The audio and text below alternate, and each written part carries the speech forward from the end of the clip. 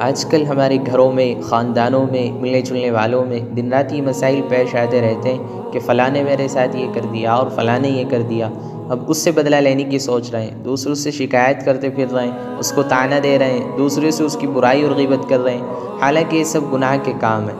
لیکن اگر آپ معاف کر دیں اور درگزر کر دیں تو آپ بڑی فضیلت اور ثواب کے مستحق بن جائیں گے۔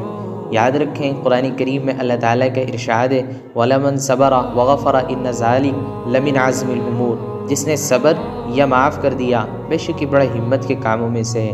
دوسری جگہ اللہ رب العزت نے ارشاد فرمایا، ادفع باللتی ہی احسن فَإِذَا الَّذِي بَيْنَكَ وَبَيْنَهُ عَدَاوَةٌ كَأَنَّهُ وَلِيٌّ حَمِيمٌ۔ دوسرے کی برائی کا بدلہ اچھائی سے دو۔